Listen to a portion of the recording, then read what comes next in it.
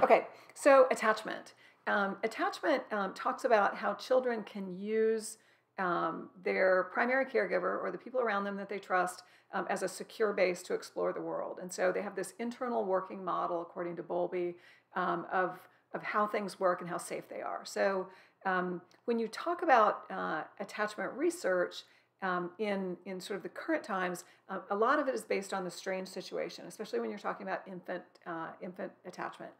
And the strange situation is referred to in the textbook is a highly scripted lab-based intervention where you um, uh, bring up the primary caregiver. In historically, it's often been the mother, so I'm going to refer to it as the mother, but it doesn't have to be the mother.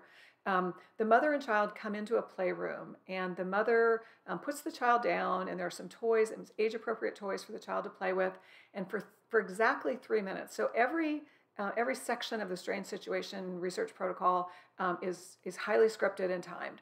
So for the first three minutes, the child just plays on the floor while the mother reads a magazine or reads a book. After exactly three minutes, um, somebody walks into the room, one of the researchers walks into the room, looks at the mother, says, Hi, I'm the stranger, sits down next to her, and reads a book. They don't talk at all for three minutes, they just sit next to each other. And the child continues to play.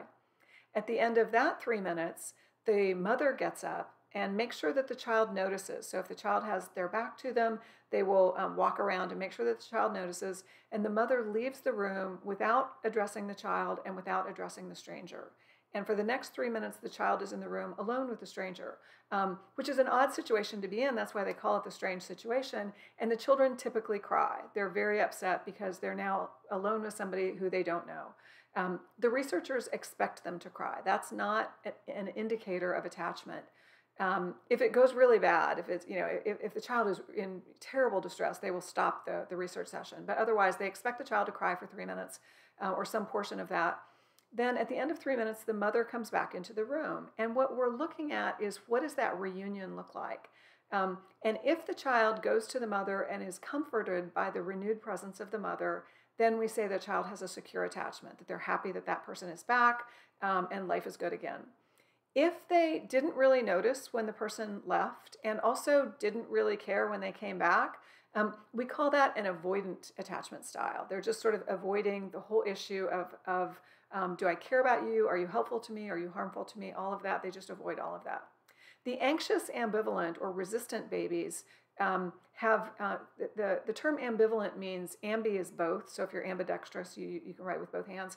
Um, ambi is both. Valence refers to the direction of emotion, whether it's positive or negative. Um, and the anxious, ambivalent, or resistant babies um, are have the presence of both positive and negative emotions. They approach the, the, the caregiver, they want to be picked up, but then they're angry with them and they push away when they are picked up. So that's where you get um, that, that. And then some babies are disorganized, and so they, you know, they're they're sort of disoriented and harder to classify. Now, when I asked you to pause the video before when we talked about temperament, um, if you didn't, um, those numbers were about 40% of children displayed an easy temperament. Um, about 60% of children display a secure attachment. About 40%, or excuse me, 10% of children displayed a difficult temperament, and about 15% of children um, display an ambivalent temper, uh, attachment.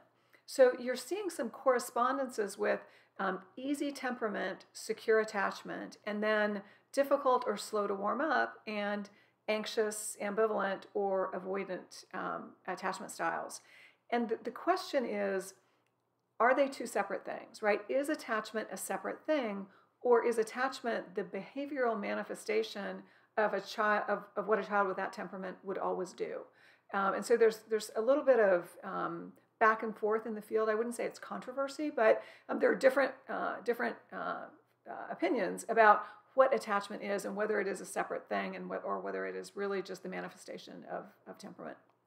Um, so um, your book then talks about bidirectional effects, um, how the child affects the parent and how the parent affects the child. I said that I think it's important not to label the child as a difficult child, but as a child that has a difficult temperament.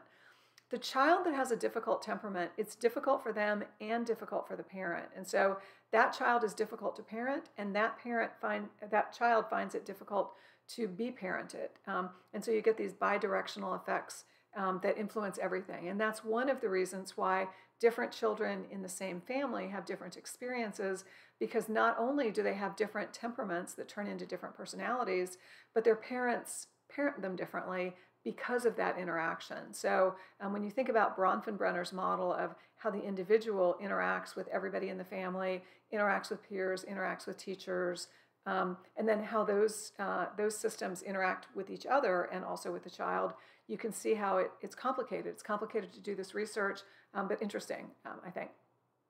Um, as you wrap up this chapter, um, it talks about childcare. Um, the takeaway message on childcare, there's a lot of research on it, and I encourage you to, um, to think about it and think critically about it. One of the things that struck me when I was studying this, um, taking a class like this, and then also classes afterwards, was um, I didn't always like the way that they characterized single parent families because I, I was one. Um, I didn't always agree with the way they characterized the role of fathers.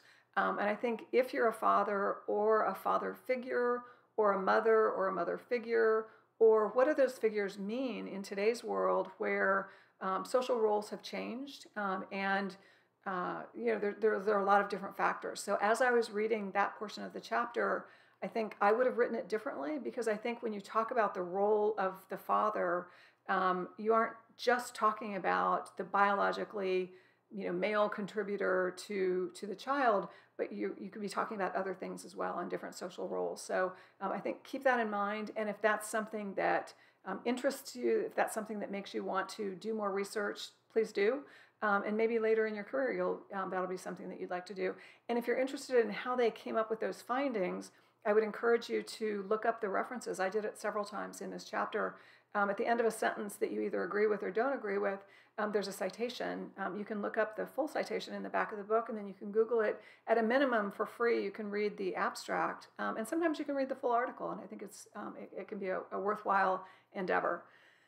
Um, and then finally, in the one of the announcements this week, I will put, uh, or, or else in the, the resources, um, I'll put a link to a book, and there's a book written by a really famous um, developmental psychologist, Al- Alison Gopnik, um, and she wrote a book about. It's called either Gardener or Carpenter or Carpenter or Gardener. I don't. I don't have it in front of me right now.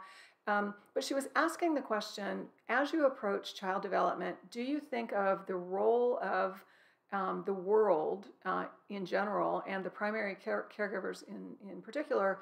As being the role of a carpenter, and it's their job to build the child into something, into some finished product?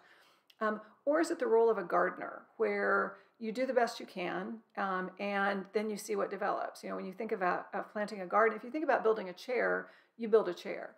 If you think about planting a garden, you don't necessarily know how that garden will come out. It could be a year that there are um, insect pests. It could be a year that there's a lot of rain, a little rain.